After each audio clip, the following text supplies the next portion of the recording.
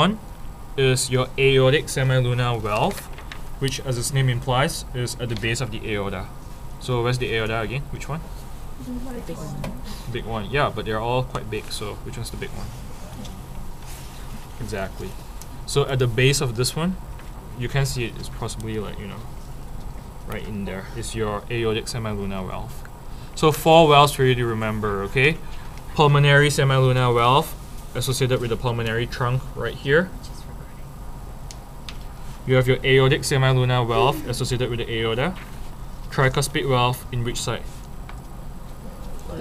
Right. Right side. Bicuspid valve associated with which side? Left. Left side. Okay. Uh. Yes. Don't let me forget the ligamentum arteriosum. Can you please pass me that freeze-dried heart? Okay, guys, this is important. And it's pretty easy, anyways. Make sure you know where your coronary sinus is. Coronary sinus is near the posterior vena cava. So one more time, it's in the right atrium. Follow it. This is your posterior vena cava. Yes. And then you have, of course, you have your anterior vena cava, which carries what kind of blood again? Deoxygenated. Deoxygenated. So if you peep, there's one more hole right at the bottom, um, underneath the posterior vena cava. That hole is the leads to the coronary sinus, which is the heart's vein. It leads used blood back from the heart itself and channels it towards the right atrium, so it can bring all that blood into the lungs and refresh itself. Okay. So the the posterior Mm-hmm. posterior one, that one goes more down as opposed to the anterior. Yes, the anterior one is kind of like from up, and this one is from here. So they're all channeling blood towards the right atrium, including the coronary sinus. So you can see it kind of like a tree prong thing.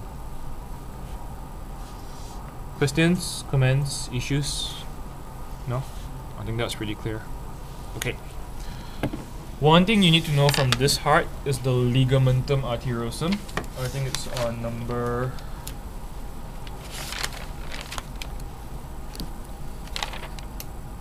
Okay, number 19 in your lab assignment sheet. So the ligamentum arteriosum is here. It's removed in this heart, yeah? It's this thing here. Okay? Because this um the vessels here were cut too closely towards the heart. You can you can see it. But this ligamentum arteriosum is where my blunt probe is touching it. And it connects the aorta to the pulmonary arteries or the pulmonary trunk. Okay? So, okay, let me ask you a question. Here is your pulmonary arteries, yes? Left and right. Clear? Mm-hmm. What is this thing then? Pulmonary trunk. Yes. And this is supposedly my aorta. It's connected to the pulmonary artery through what? Ligamentum arteriosum. Ligamentum arteriosum. If this is my aorta, what is this?